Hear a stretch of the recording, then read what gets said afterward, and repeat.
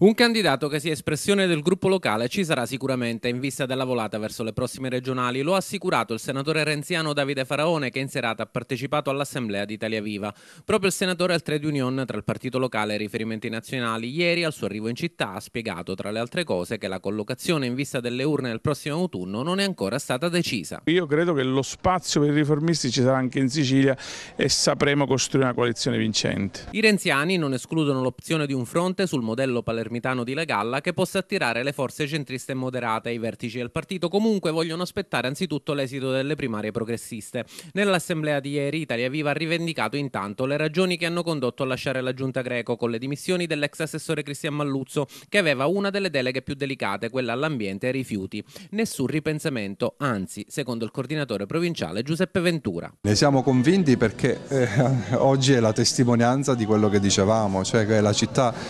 è sporca, la città va ripulita, io noto moltissimi turisti che vengono in città e non è un bel vedere eh, vedere la città sporca. La città è sporca, va ripulita, noi abbiamo ritenuto che ci fossero degli interventi straordinari da fare,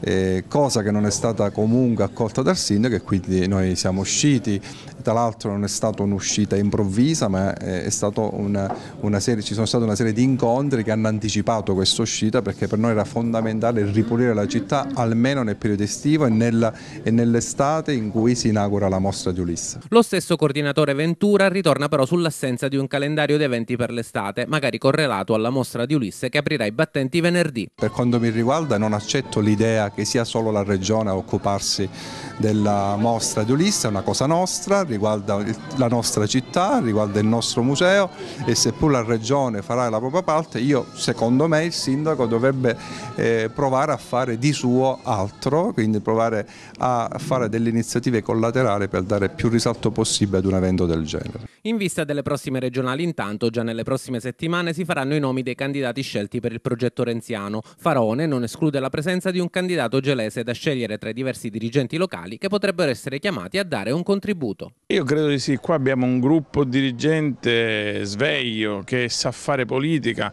e quindi è naturale che emergano candidature che riescano a rafforzare il campo riformista anche in questa cittadina.